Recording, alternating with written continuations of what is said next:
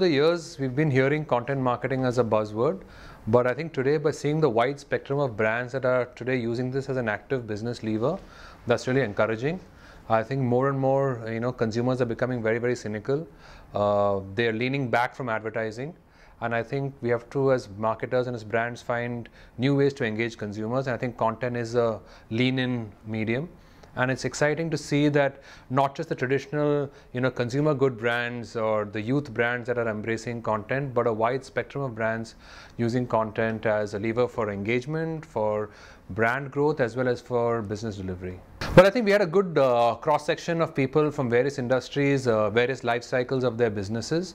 Uh, but I think again, my my uh, I felt the whole feeling was that we had many more brands who were coming and putting stuff out, traditional brands, brands who you'd never see kind of you know, taking over a space like content marketing, uh, being involved, having dialogue around them, and actually seeing that every every brand, no matter what kind of category they're in or what stage they're in their life cycle, can find some ways of deeply engaging customers using content and branded content.